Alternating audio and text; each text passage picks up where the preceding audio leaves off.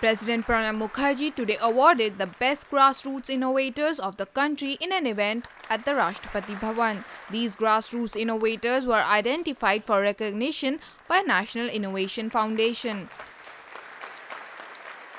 At the outset, let me congratulate all the award winners for their work and contribution in the field of innovation. I take this opportunity to also compliment the National Innovation Foundation, India, for unleashing the creative potential of the grassroots innovators and for championing the cause of inclusive innovation through its various initiatives. In particular, I would like to place on record my high appreciation for outstanding contributions of Professor Mashelkar and Professor Anil Gupta in making innovation take the shape of a movement in our country.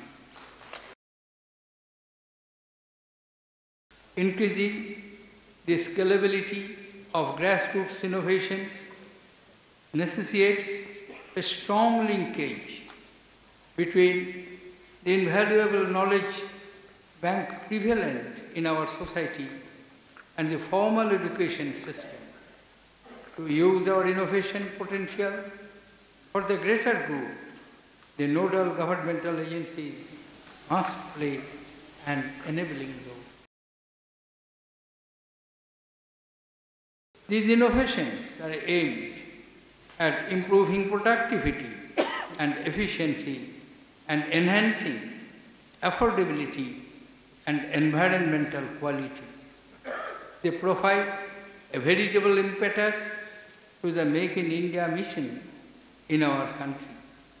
Apart from developing appropriate linkages with investors, entrepreneurs, and financial institutions, the union and state governments should also consider taking up these innovations for wider diffusion through the administrative channels, particularly in economically backward regions and tribal and remote areas. Powered by NNIS.